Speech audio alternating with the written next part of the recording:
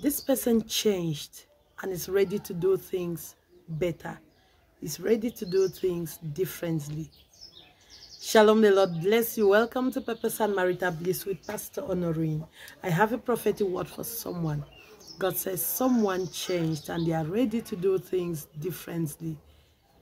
This word is coming to someone who went through a stormy season. And God says, this person who is connected to you, who went through a stormy season, God says the storm was not meant to kill them. The storm was meant to make them better. And this person, by reason of the storm, they changed. Sometimes, it's you've got to allow people go through some things when you've tried advising them you've tried counseling them you've tried to make them see and they don't see they don't then sometimes let the stormy experience teach them the lessons. They'll understand better. Sometimes when you're counseling or advising people they feel like it is for your good.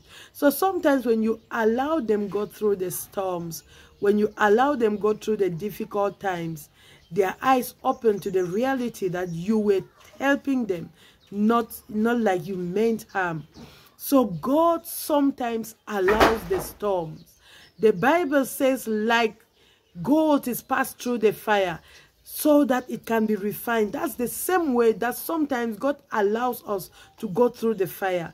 Not because he wants to kill us, but because he wants to refine us. And this is exactly what happened to this person. God says this person was not going through the fire to be killed, but rather to be refined.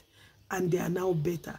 The person this word is for, you are, you are, you are your spirit-based witness with you that this word is for you because you know who exactly we are talking about. God bless you. You've got to thank God for their lives and thank God for the result, for the pruning, for the refining that is done. And then you can give this person another chance. Hallelujah. God bless you. Shalom.